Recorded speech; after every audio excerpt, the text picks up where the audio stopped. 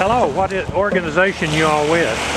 I'm with Footprints for Peace, and this is a, a peace walk towards a nuclear-free future.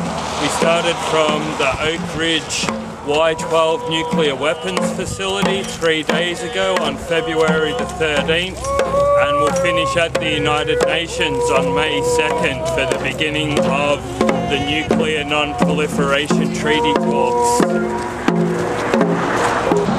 Started on Saturday, February 13th from Oak Ridge. Our intention is to go all the way to New York City for the Nuclear Non-Proliferation Review Committee talks at the United Nations, which start on the 3rd of May. I've just come on to this organization a few months ago. I've got in touch with them, and uh, so I'm new to this organization. I'm not sure of their history. Well, thank you very much for uh, giving us a YouTube uh, interview, Thank you. and I'll take your literature there and read it. Thank you very much. Okay, you have a good day. Be careful. Peace.